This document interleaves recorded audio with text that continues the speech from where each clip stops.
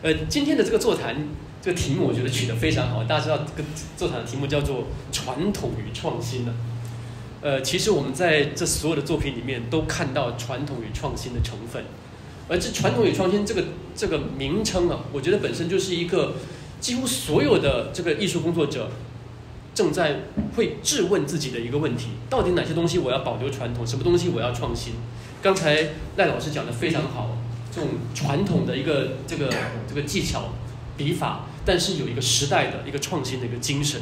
我觉得你就是不断的在在在拷问每一张图画，你的构图、你的色彩、你你你的线条，你要怎么样去呈现传统跟创新？我觉得那是非常非常精彩以及迷人的地方。每一张你都能够去去分析它。那讲到传统与创新，其实。以传统来讲，当然我们是继承从中国，呃一路以来的这样子的一种笔墨的一个呃一种传统，在在在学术界我们会这么说，这种叫做一种占据式的传播。所谓的占据式传播，就是从中国它影响了我们，几乎几乎都影响了我们的这样子的一种笔法，我们的笔墨，呃我们的用色等等哦，呃这种这占据式的，在早期我觉得。这个现象非常的明显哦，基本上我们就是以中国的水墨画为最高的标准，以追求那样子的呃一种水平啊，这种占据式的传播。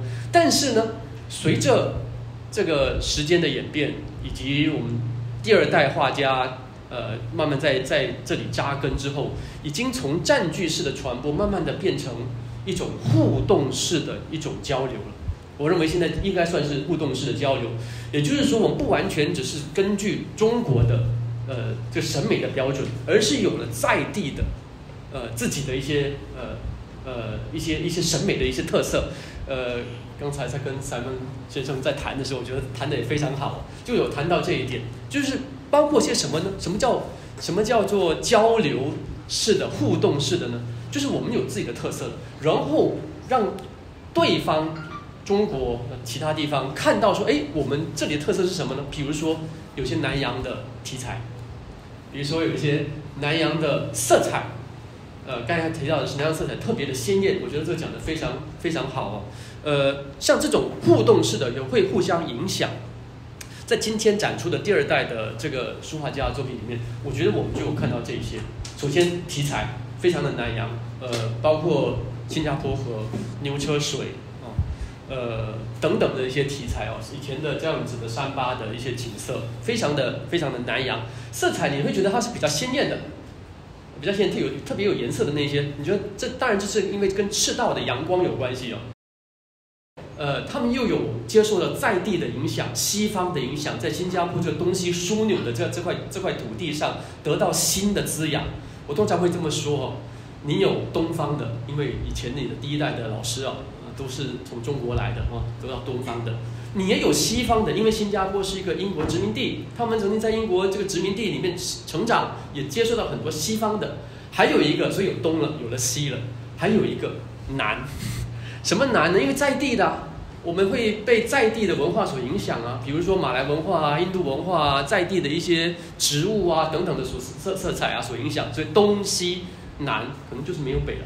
我们的东西南的影响，就形成我们很独特的一个一个特色。呃，讲这三位画家，比如说先说郑木奎啊，郑木奎是我非常喜欢的一个画家。郑木奎为什么会喜欢呢？我觉得他的独特性在于他的题材是南洋的，他的笔法是细腻的，它结合了东方跟西方，还有南南洋这一带东西南的的这个特色。呃，让你一看很舒服、很和谐、很协调的整个整个画面，色彩不会很冲突很大，不会。我觉得就是这样这样的情况下，让我很喜欢，然后开始开始去绘画。第二个，呃，说一说洪雅蒂，洪雅迪先生啊，我们在拍那些视频的时候，有去洪雅迪的家家里啊。洪雅迪先生是我们新加坡很重要的画家，也是文化奖得主。啊，而且他的特色在于，他什么材料都很喜欢。他画油画、画亚克力，呃等等。后来，他其实哦，在迷上这个水墨的那个阶段，就非常的风靡，就一段一直那段时间一直的在画这个这个水墨。呃，我就在跟他谈他的这个他的水墨的一些画法的时候啊，我跟他说，因为我感觉你的这个画法基本上是从西洋走回这个这个东方，从西方走回东方。你用的是呃这个整个构图、整个远近的层次、深浅，呃呃等等都是这样子的一个特色。他说是啊。啊，其实很多东西是相通的，不完全能够说去划分说这个是东方，这个西方，但是很多东西是相通的。那题材上你看得到是新加坡河，你看到到是呃牛车水，而且有一个远远景、中景跟近景这三种的这个呈现，在它的画面里面非非常非常的呃这个明显哦，而且它的你注意它的笔触非常的大胆，跟跟呃。呃，这个这个很利落，很洒脱，你会发现他的这个跟他的这个亚克力的一些笔法很接近。我觉得从他的那些水墨里面看得到他这个西方的一个画法。呃，第三位要谈的是陈友炳。陈友炳啊，其实我最早认识他不是因为他的画画，而是因为他的诗歌。呃，我自己当然写作写了这个三十多年了，呃，写作。然后我最早的时候在图书馆看到了一几几本。我觉得很奇怪的诗歌，而且这个人在诗坛、在文学界，大家不太认识他。可是我一看他作品，很很新鲜、很奇特。他写新诗，他写古诗，我觉得哇，怎么今天有这样的一个文人？后来我才知道，哎，原来他是一个画家。然后在他的画里面，我觉得这个看他的画就像读他的诗一样。你要用看诗的心情去看他的画，我认为是这样。呃，在我们。在诗歌研究里面呢，诗歌里面有一个很重要的一个呃一个一个词汇啊，哦，我们看一首诗，很重很重要的是我们必须看它的意象。大家知道意象就是 imagery，意象 imagery 不是只是 image，我们通常用翻译成 imagery。这个意象呢，不是简单的就是一个 object，就是一个东西看得到一样，它必须要有意。这个像本身呢，这个外在的这个像必须要有内在的意。它才能形成这个意象，也就是说，它是有内在情感的哦。所以在诗歌里面，呃，好的诗歌都会有很多的意象。那我觉得陈友炳老师的诗歌就有很有很多的意象。